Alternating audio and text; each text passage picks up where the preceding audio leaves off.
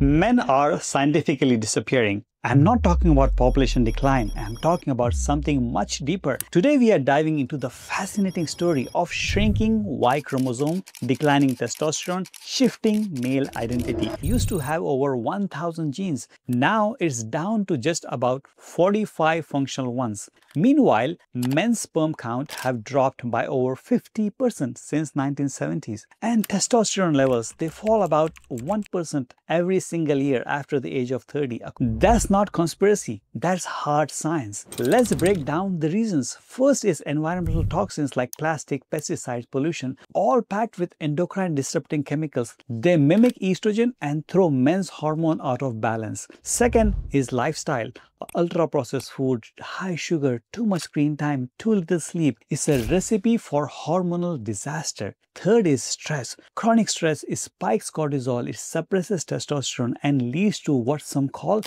estrogenic males.